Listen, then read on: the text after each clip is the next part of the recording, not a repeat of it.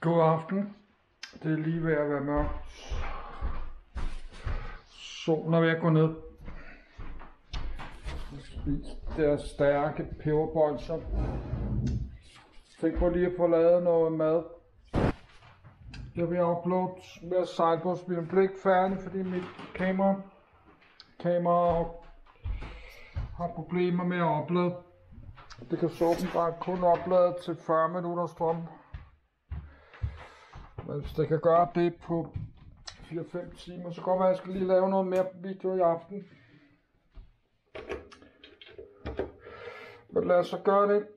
Der er masser af det der chili con carne der. Jeg kan bedst lide det på ris. Så lad os gemme de kartofler til jeg bliver syg en dag. Man kan også tage sådan nogle kartofler og så have et glas henover. Som jeg har lyst til at ris i dag. Så skal jeg bruge den der, hvis vi lige skal vaske op nu. Vi skal bruge øh, gryden.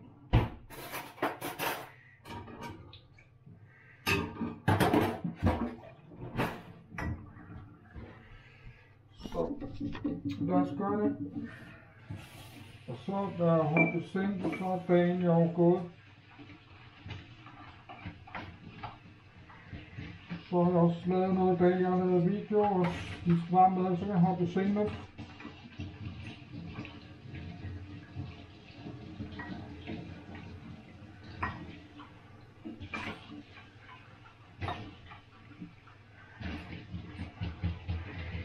Nu. Jeg har godt tænkt mig en båd stadig, men problemet er hele tiden, at mit, jeg ikke har det så godt, og så er jeg jo lige, Jeg er jo lige om alting.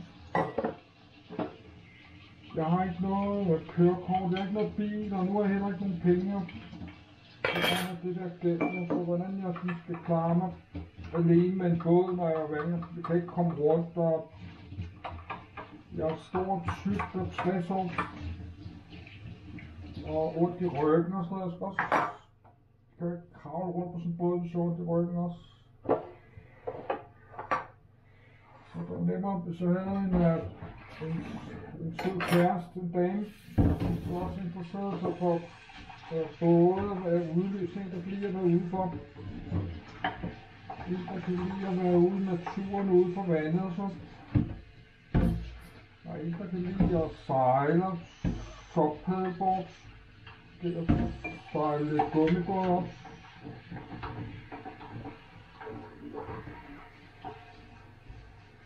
Og være på vandet, være på stranden om sommeren og sådan.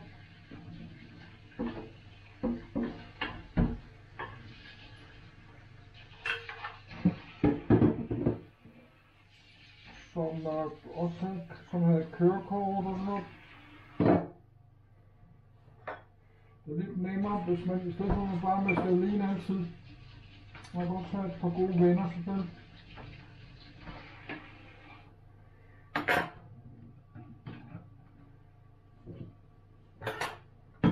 Så men man kunne så også have en kæreste, der har det mega dårligt, der lider af angst og overvægtig og depression og sådan noget. Så bare sidder hjemme hver dag og ser fjernsyn. Så det vil ikke hjælpe mig særlig meget, når vi gerne vil ud og sådan noget. Snort op, eller en dame, der ikke har det godt, der har social angst, ikke kan lide at være sammen med mange mennesker, og når jeg er kendt YouTube og sådan noget. Jeg vil have opmærksomhed på grund af, at jeg kendte kendt YouTuber, og ikke har lyst til at være sammen med mig ude for os. noget. Så det vil ikke hjælpe mig særlig meget at have sin kæreste i min situation, hvis jeg havde sådan en. Så en, der bare gerne bare sidde hjemme og bare sidde øh, sidde og drikke kaffe og sådan noget hos smøger måske. Og hygge sig hjemme, ikke gider at bo på en båd og sådan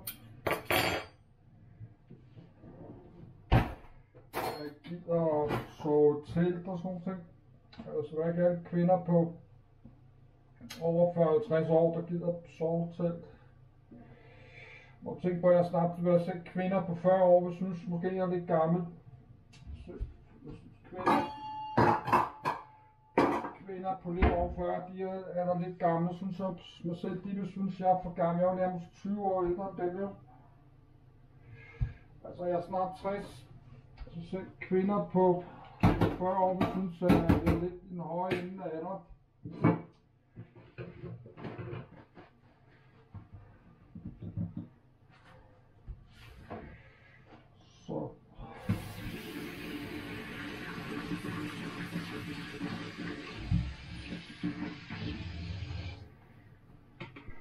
Når vil der ikke nogen siger, at man skal have en kæreste, så eller familien også bare hygge sig altid, så jeg kan bare gå ud og drikke en masse bajer og en masse fadøl og så. Så har jeg ikke en uh, sur kæreste, der bliver sur på mig, fordi jeg kommer hjem kl. 2 om natten og har drukket 10 fadøl.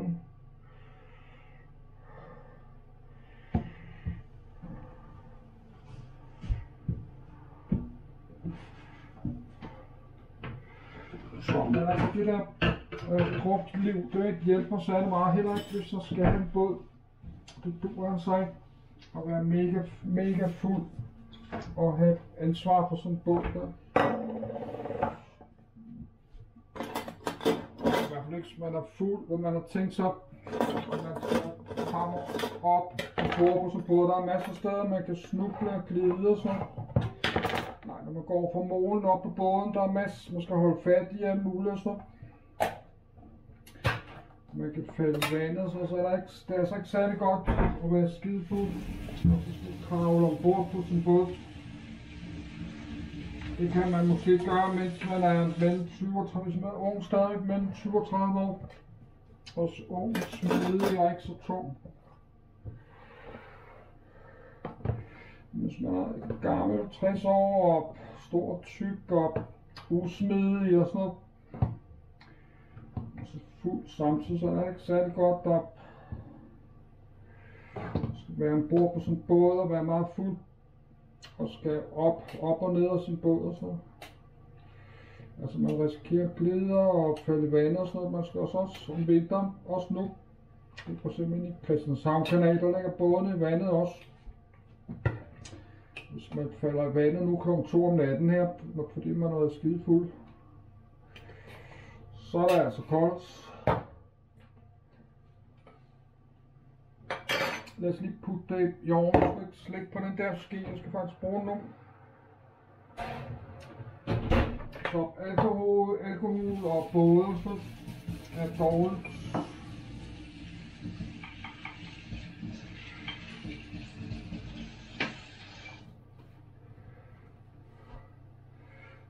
Man er kommet hjem kl. 2-3 om natten, man bor på en båd i Christianshavn kanal og kommer hjem kl. 2-3 om natten, fredag til lørdag nat, midt om vinter her. Der er så ikke sikkert, at der er nogen, der hører, hvis man glider og slår, knaller hovedet ned i nabobogen og, får, og bliver sådan lidt bevidstløs. Så er der ikke sikkert nogen, der ser en eller hører en. Der er så ikke så mange mennesker på gaden øh, kl. 2-3 om natten.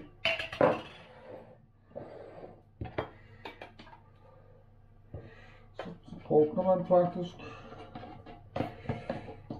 Hvis man er uheldig, at mens man glider falder, knalder hovedet ned i et eller andet i målekanten eller i nabobåden,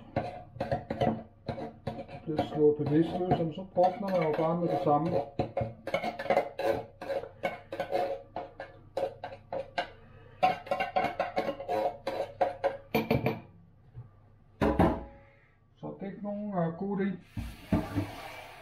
Alkohol og både sådan noget, dårlige ting som alkohol og flyvning. Hvis man gerne vil være pilot, hvis man gerne vil være pilot og flyve svævefly eller andet fly, så er det ikke en god idé at drikke, fordi man kan ikke drikke helt vildt fuld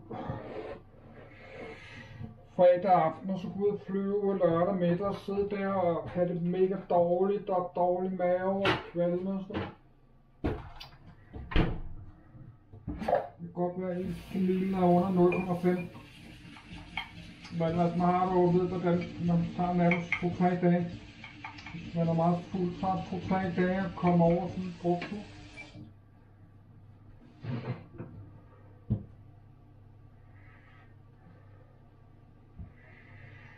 Så men det er der mange, der gør. Så drikker og for eksempel i aften her på flot dag, så sidder de og drikker en flaske vin og øl og sådan noget. Så falder du søvn på sofaen. Skide fuld, og så, så vågner de måske op klokken 1 om natten, og så går de ind og sover. Så står de op klokken 6-7 stykker, og kører, kører de altså på arbejde. Men der er man altså ikke.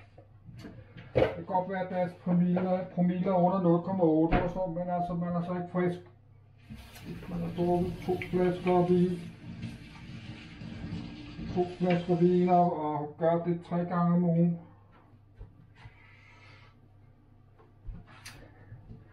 og falder i søvn på sofaen, og så vågner op kl. 6-7 og kører på arbejde. Så er man altså ikke helt ædru. Men der er mange, der er rigtig mange, der gør. Altså rigtig flere millioner mennesker, der gør sådan noget. Så det går, at deres promille, promille er under 0,5 eller så. Så lad os skylle noget ris, hvis jeg kan nå det. Næsten ikke, vi kan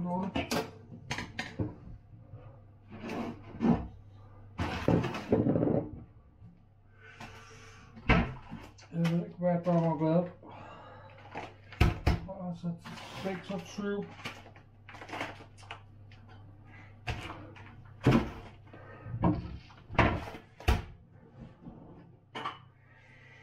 Så vi laver bare en enkelt video. Det kan være, at der er nok ris. Der er der med bare en lille smule mere.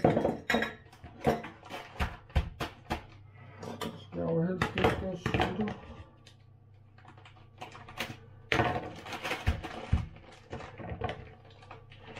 Jamen generelt, hvis man bor og lever alene, som jeg gør, så er det generelt altså ikke så en god idé at være voldsomt fuld og så. Hvis man har en lav indkomst og har alle mulige problemer hele tiden. Så altså, jeg kan ikke nå at blive færdig, fordi der er så mange bevægelser, jeg skal stå og lave. Jeg kan ikke nå at nu så bare at lade det her være, og så skyld nu, jeg kan ikke nå alle de ting.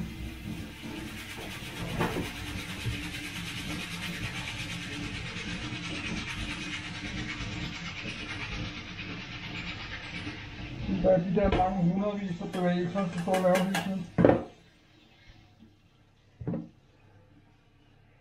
Så nu er næsten færdig. Men nu bare lade det være, fordi vi ikke har tid til det. Så jeg må stå og lave det bagefter. Skal have noget salt i. Jeg skal også tænde for, at jeg har ikke tid, fordi jeg skal lave de der hundredvis af bevægelser. Så jeg må lige op. uh, blive færdig med det her. Og lidt karri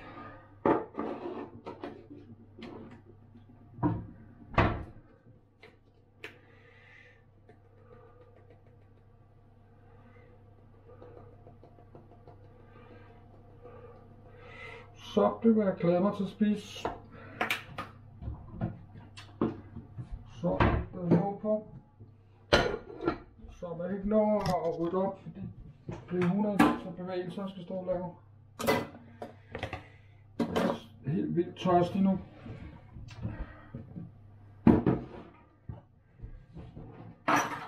Så man næsten, næsten når vi først skal også stikke bordet og sådan. Jeg skal også have noget drik, men jeg kan ikke nå det.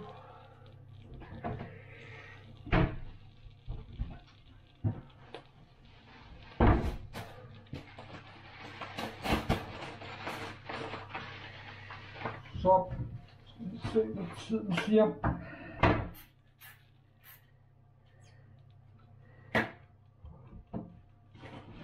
Godt, altså, jeg kan ikke nå det, fordi uh, alle tingene falder ud i hovedet på mig. Når jeg gør det så hurtigt, så jeg taber tingene ud af mine hænder. Så. Tingene flyver ud af hænderne på mig. Nå, vi kan ikke, uh, vi kan ikke nå den nu, så stop det.